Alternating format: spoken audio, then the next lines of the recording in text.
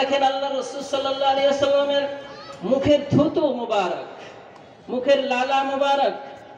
রসুল সাল্লাহ আলহি ওয়াসাল্লামের মুখের লালা মুবারক এত দামি ছিল, এত বরকতময় ছিল। হযরত আলী রাদিয়াল্লাহু তাআলা আনহু খায়বার যুদ্ধের সময় চোখে ব্যথা হয়েছে। আলী তাআলা আনহু চোখে ব্যথা হয়েছে। আল্লাহ রাসূলকে জানালেন রাসূল, আমার তো চোখে ব্যথা, আমি কেমন করব? আল্লাহ রসুল সাল্লাল্লাহু আলাইহি ওয়াসাল্লাম জবান থেকে একটু লালা মোবারক আলীর চোখে লাগিয়ে দিয়েছে। আলীর যেই চোখে ব্যথা ছিল আগের চেয়েও মনে হয় এখন অনেক ভালো হয়ে গিয়েছে।